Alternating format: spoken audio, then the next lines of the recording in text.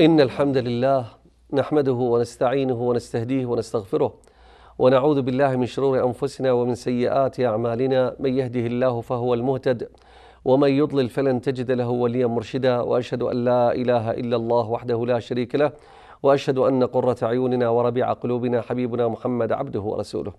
أحبتي في الله إن من قدر الله سبحانه وتعالى في عباده أن يبتليهم بالأمراض والأوجاع وفقدان الديار وفقدان الأحباب وفقدان كل ما هو من شأنه إدامة الحياة. فقال رب العزة تبارك وتعالى ولنبلونكم بشيء من الخوف والجوع ونقص من الأموال والأنفس والثمرات وبشر الصابرين الذين إذا أصابتهم مصيبة قالوا إنا لله وإنا إليه راجعون.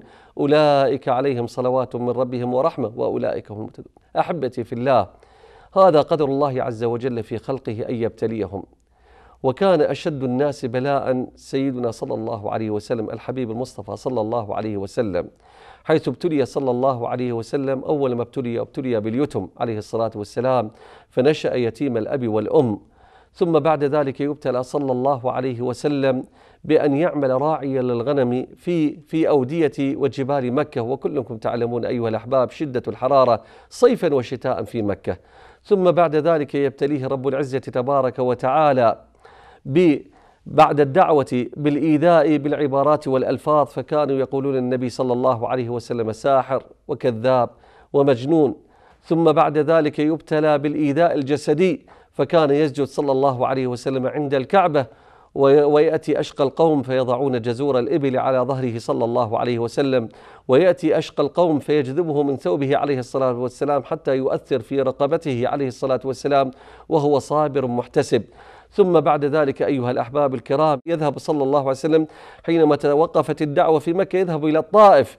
يريد أن يدعو إلى الله عز وجل فإذا توقفت الدعوة في مكان فلا بد من الانتقال إلى مكان آخر ويستقبله أهل الطائف كذلك بالإيذاء حتى أدمي صلى الله عليه وسلم بأن ضرب بالحجارة وبعظام الإبل الكبيرة حتى أدمي صلى الله عليه وسلم إلى قدميه وهو صابر محتسب.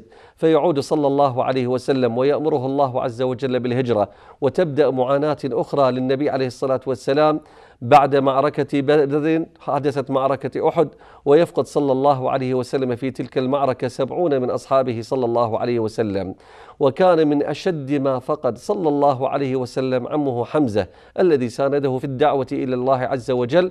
ففقدان الحمزة كان له أثر في قلب النبي صلى الله عليه وسلم حتى أنه لما وقف على جثمان حمزة وقد جدع أنفه وقطعت, وقطعت أذناه قال لن أصاب بمثلك أبدا وما وقفت موقفا أغيض إلى قلبي من موقفي هذا.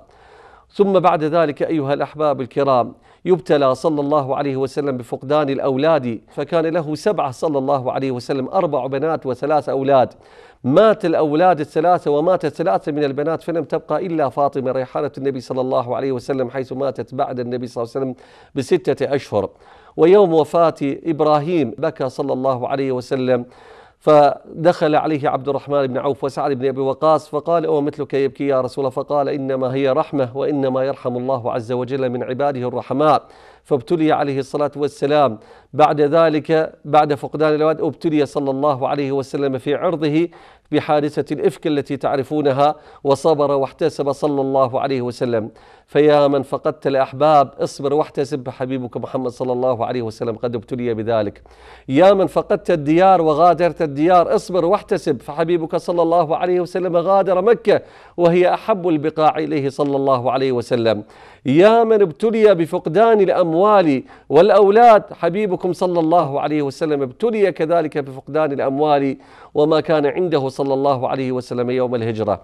يا من ابتليت بالعرض اصبر واحتسب فحبيبك صلى الله عليه وسلم ابتلي بعرضه وصبر واحتسب حتى برأ الله عز وجل عرضه في سورة النور بآيات عشر. قال الله عز وجل فيها إن الذين جاءوا بالإفك عصبة لا تحسبوه شر بل هو خير لكم.